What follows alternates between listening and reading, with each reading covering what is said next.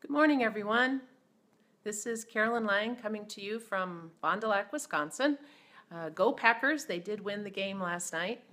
Uh, I listened to it on the radio. Uh, I just not I'm not very good about sitting still, and besides that, we'd only have Netflix. So, anyways, I'm here in my one of my favorite rooms of my house. This is our sunroom. I'll give you a quick look of the other side.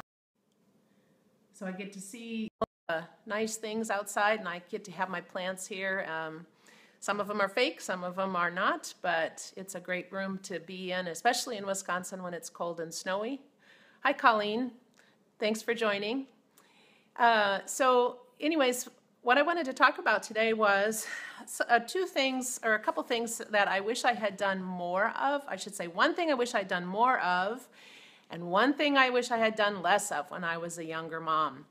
Um, in case you don't know who I am while, while you're joining us before I get started, um, let me tell you a little story about who I am a little bit. But uh, feel free to let me know where you're coming from, or if this is the first time you've joined me, then uh, put a little uh, comment in the section below. I like to see that. And if you get some value out of this or you like what you hear, then go ahead and put a thumbs up. That's a nice thing to know that I'm actually connecting with, you know, what people want to hear and talk about.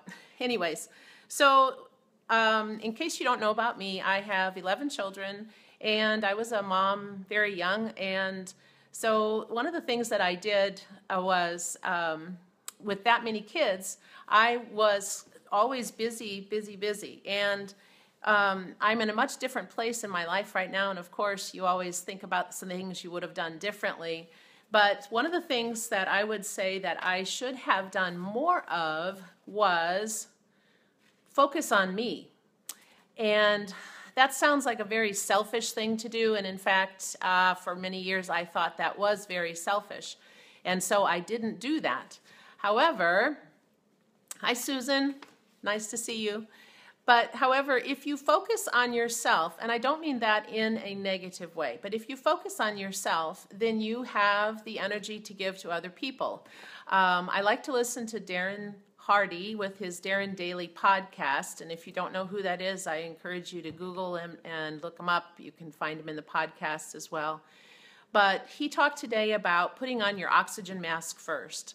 Um, you know, when you're in an airline, they, that's what they always say to put your oxygen mask on so that you can help other people. And that is what I mean when I say focusing on myself.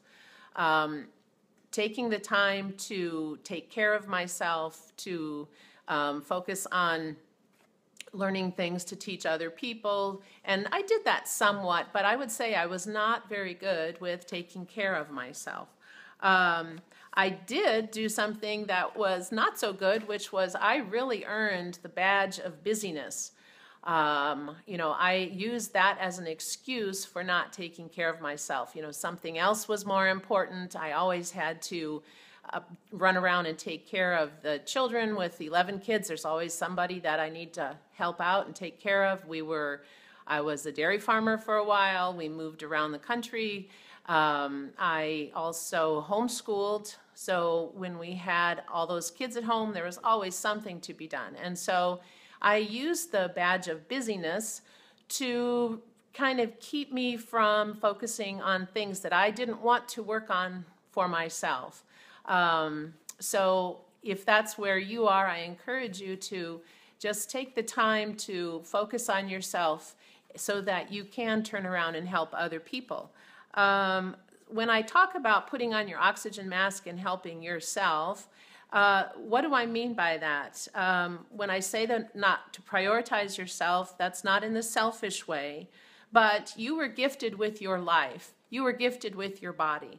So you need to take care of it so that you are able to help other people. Uh, I know many people that have poor health and they aren't able to do for others because of their health. And that's such a, a sad thing. If you have a good body, maybe it's not in the perfect model condition, but so what? If it works and works well, that's what you need to focus on and be grateful for and, and keep it healthy, keep it tuned up and running. So, the, you know, three things for self care uh, your physical self care, your mental and your emotional self care. And all those three things have to be part of what you are taking care of and really prioritizing in your life.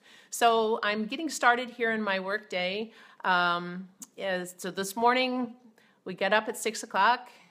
I get the girls off to school. I drive to the gym because it's right on my way home, and I go and work out for a while.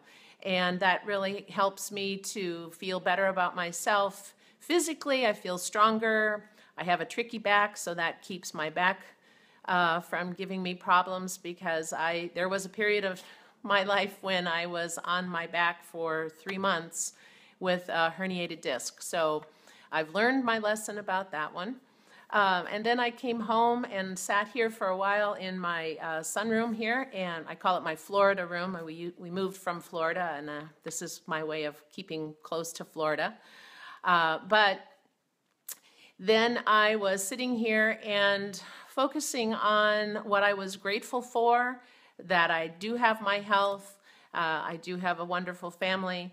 And then I was thinking too of um, uh, the your personal growth, like I said, the podcast, what I like to listen to while I'm at the gym. So, like I told you before, I was a recovering multitasker, but I do like to do um, listening to things while I work out. So, I listen to different podcasts, and um, then I, um, excuse me, I listen to different podcasts and different uh, versions of books on tape, things like that, to really give myself some time to, uh, you know, put that in my brain and grow my my own um, self self uh, knowledge.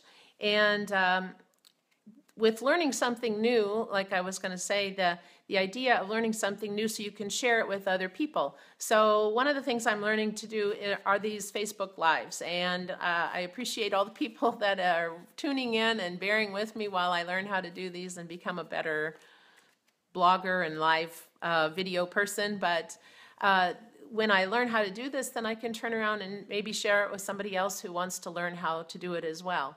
Um, and then the third thing that's so important is your emotional health. And that includes your faith, building your faith, doing uh, relationship building. I mean, that's we had some relationships that were kind of out of place uh, recently, and we needed to work on that. And so, having the time and not being so busy and running around and crazy, but really focusing on the relationships because, after all, that is what you have. I mean, my um, my my mom passed away in 2002 and i was good about going down and helping her out and, and helping her with her health and or, i'm sorry with her um, housework and different things like that. But i don't know i regret not spending enough time just sitting there talking with her.